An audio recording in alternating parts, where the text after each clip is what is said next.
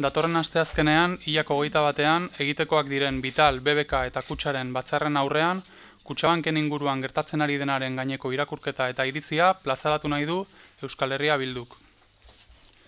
Euskal Herria bildu osatzen dugun alderdiok jarrera kritikoa izan dugu hasieratik Kutsabank sortu eta egituratzeko prozesuan.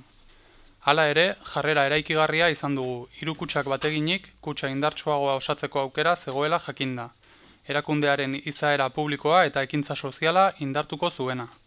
Bere ezaugarriak definitzeko borondatea eta aukera bagenuelako.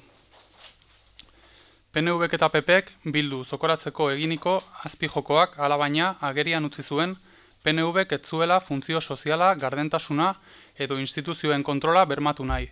Aitzitik, Kutsabank espekulazioaren eredutik zuzendu nahi duela erakutsi du, erabakitzeko esparruak interes politiko eta finantzieroen esku utzita, eremu publikotik egin beharreko kontrola saiestuz eta erabakitzeko ahalmena ahulduta.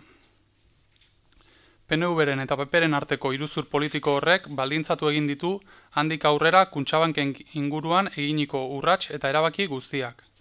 PSEek araban babestu zuen iruzur politikoa eta dirudienez, hiru alderdiek etzi berretxiko dutena gipuzkoan lehenengo indarra dena baztertuko badute. EH Bildun argi daukagu kutsabankek gure herriaren eta bere eraikuntzaren aldeko apustua egin behar duela. Beti ere, kutsek izandako izaera publiko eta soziala mantenduz eta bultzatuz. Horixe da hain zuzen ere, orain galtzeko arriskuan dagoena. Kutsabank, egungo eredu aldatzeko oinarrizko lanabesa izan behar duela uste dugu. Garapenerako finantziazioa bermatu. Politika sozialak sustatu eta instituzioek beharrezkoak dituzten kredituak albidetuko dituena alegia. Euskal Herriko aurrezkiak berton gelditu eta kudeatu behar dira. Are gehiago orain, krisiari aurre egiteko estrategia jakinak beharrezkoak direnean. Dirua herritarrena da eta herritarrei bueltatu behar zaie. Era berean, kutsabankek etxe kaleratze prozesuak behin betiko geldeiazi behar dituela defendatzen dugu. Kutsabankek ezin du desjabetze bat gehiago ere gauzatu.